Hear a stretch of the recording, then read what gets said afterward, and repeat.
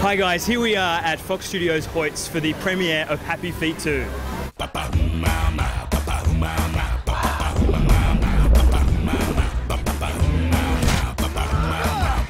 Elijah Wood, Robin Williams. It's incredible. Everybody came. Except for that guy who stayed behind because he had the sniffles. Oh no, he's here. Nick Mark, nice to meet you. Um, yeah, big fan of the film. Thank you, But um, as one of the few Americans who can actually put on an Australian accent, I could try, you know, Yeah. comes and goes. Uh, uh, once I'm walking around Sydney, oh, Mr. Miller, you just have to try and do it and just keep your voice up and uh, and don't don't flatten it out too much. or You'll piss people off. that's it. Yeah, we can Don't tell. go there. You go you go northern or southern. No.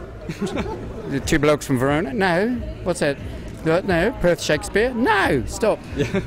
What's it like working with Australian directors? You've worked with Weir and now Miller. Oh, it's amazing. Two of the best experiences in my life. Yeah. Starting off with Peter Weir was the best. Yeah. He's a teacher. You come away working. Everyone who's ever worked with him comes away different. Yeah. I mean, I've talked to people. You just come away just going, you've learned.